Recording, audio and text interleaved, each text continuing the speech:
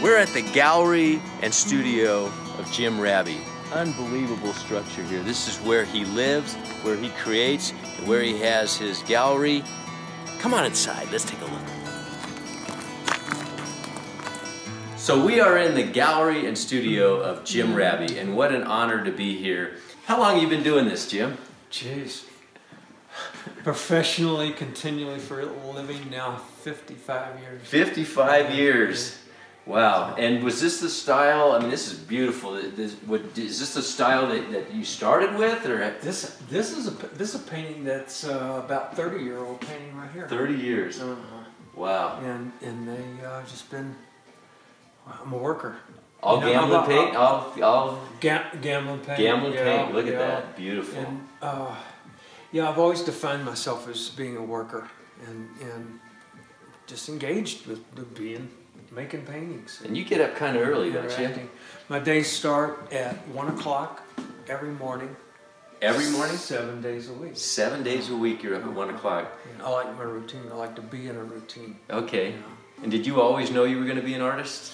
Oh, I've always been an artist. yeah. So, Looking at your artwork, Jim, you, when you go into it, do you have an idea of what it's going to be? Did you? I mean, do you have a preconceived? I'm. I want to create this, uh-huh. and or does it develop? How, do, how does this process uh, work? Well, it's every every painting. It's always an adventure. I mean, after all these.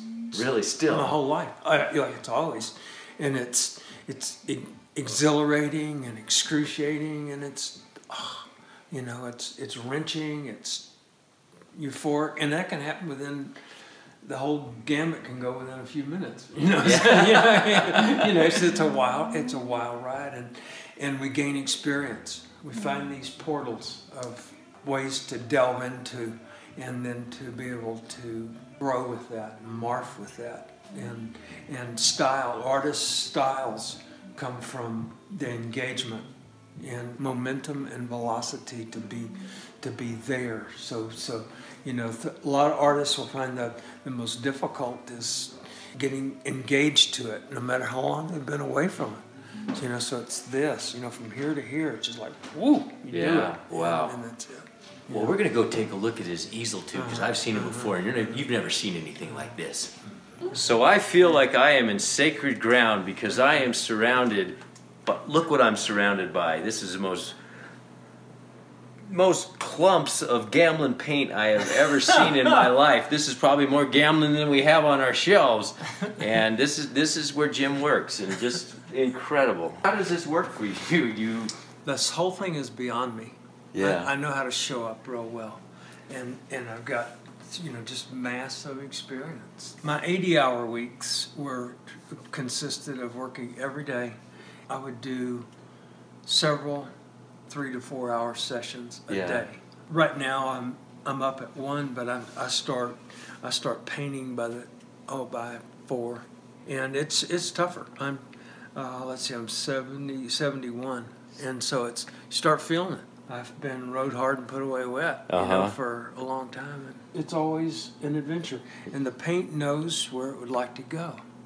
Yeah. This whole thing is beyond me. I know how to show up real good. I started painting with a palette knife and oils. Okay. That was that was the deal. Fifty something years ago. Actually, sixty years. 60 ago. years uh-huh, ago. Uh-huh. And I'd like to ask you something personal because I, I heard or read somewhere that, that you had polio as a young child. Can you talk just a second about that? Sure. I had polio before I was a year old. Okay. And uh, and it was certainly a life or death kind of deal and I've always embraced that experience. That was the most profound thing that happened to me in my life, and and is that when you made a vow to be an artist, or how did that? No, family had a little little mom and pop shop back okay. back in those days. We could feel like you can do anything you want in life. What would you like to do? Yeah. you know that was the attitude of that era. Uh-huh. And uh, it wasn't my desire to be like a doctor or a lawyer. Yeah. You know, and uh, and I was raised uh, I was raised pretty much a free range chicken. Okay. You know, to uh, do my thing, and and I love that. Well, I would definitely encourage people to come down here and take a look at the gallery. It's an unbelievable facility of what Jim's built. And thank you so much, Jim, for opening oh, it up. Oh, that's great, Ron. Yeah, nice to visit with you. It's great to visit with you. Yeah.